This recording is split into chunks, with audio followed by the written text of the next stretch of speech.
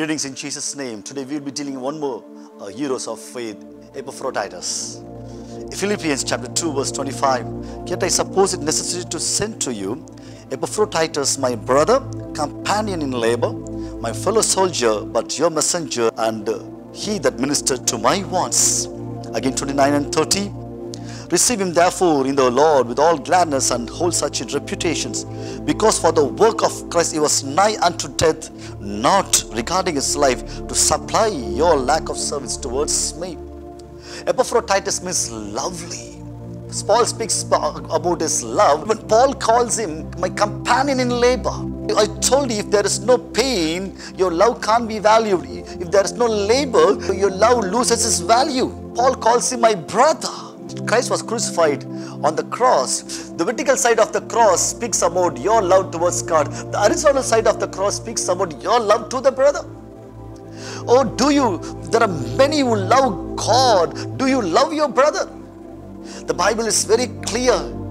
Love your neighbor as thyself. And Paul speaks, he is my brother. That what? Because he was a man of love.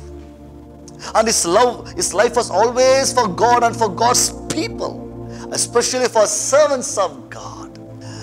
Yeah, because as Paul was in the prison and his needs to be supplied, and Philippian church is sending an offering, and he has to bring the offering in midst of so much of dangers, and there he risked his life to provide for one servants of God. And Paul says he provided to my needs, the servants of God, the pastors. For this one Paul, he risked his life. And one more thing, Philippians 4.18 says, again Paul says, But I have all, I abound, I am full, having received of Epaphroditus that which the things which were sent from you in order of a sweet smell, a sacrifice of acceptable, well pleasing to God. A man of love, a man of labor, his life is sold out for God. When he brings an offering, that also was lovely in the sight of God, lovely in the sight of sons of God. According to his name, he lived a lovely life for the one who's altogether lovely. Because he risked his life to bring this offering, the offering was well pleasing to the sight of God. Because Christ gave his life on the cross as sacrifice, his offering became the well pleasing to Father. Are you willing to sacrifice? Oh, are you for one man is risking his life?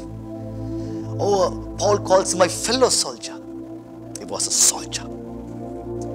There Mary Magdalene and Mary. There in the New Testament we find the Bible women bringing costly oil to anoint our Lord.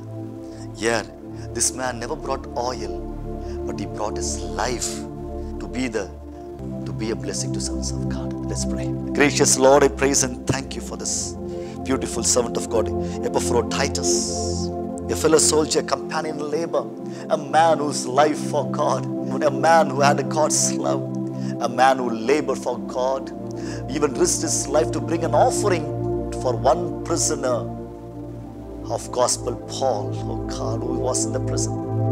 Oh God, make us one like him. Lord, may our life and our labor and our love will show Christ. Help us to be, Lord, a faithful people who also provide to our servants of God. Lord, risking our life.